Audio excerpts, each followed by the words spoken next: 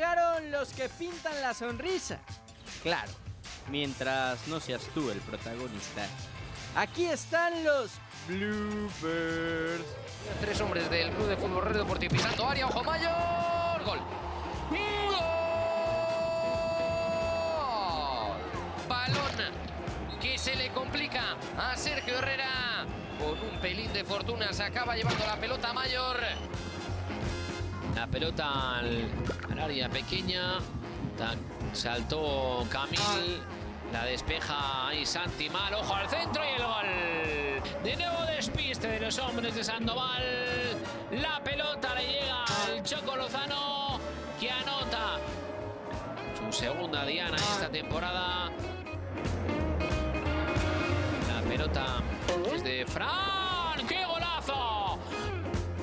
Creo que toca en la cabeza. Ahí está. De Alberto Jiménez. Y se cuela para adentro.